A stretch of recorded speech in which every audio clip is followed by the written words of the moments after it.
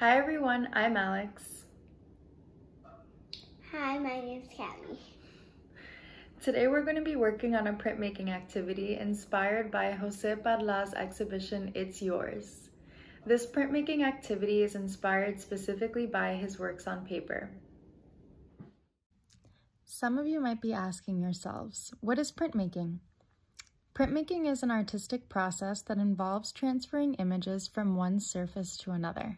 There are many different types of printmaking.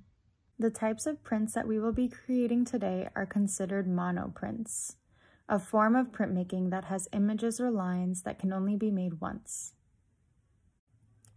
I was inspired by these works on paper because of Jose's use of color, line, and texture.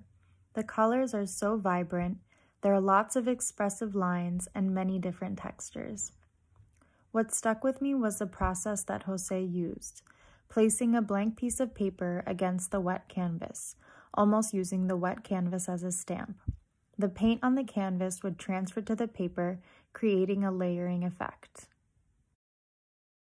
These are the prints that we created. The rainbow one's my favorite. Here's a list of materials that you will need. I found that the best types of paint to use for this project are acrylic or tempera paint. To create our aluminum foil plates, we wrapped aluminum foil around cut cardboard rectangles or squares.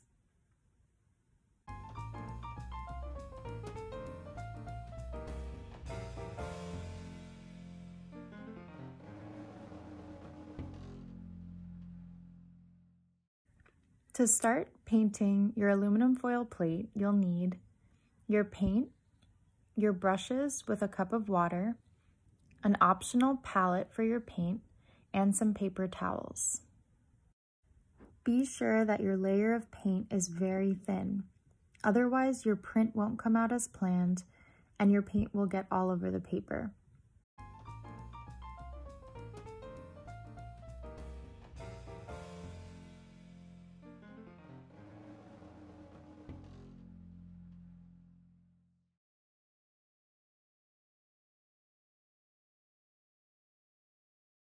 If you flip your brush around, you can use the tip of your brush to make a bunch of different lines onto your painted plate.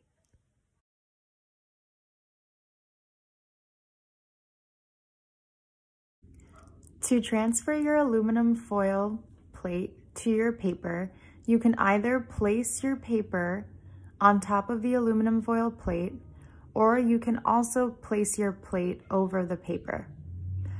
I tried to make sure that my plate was centered on the paper.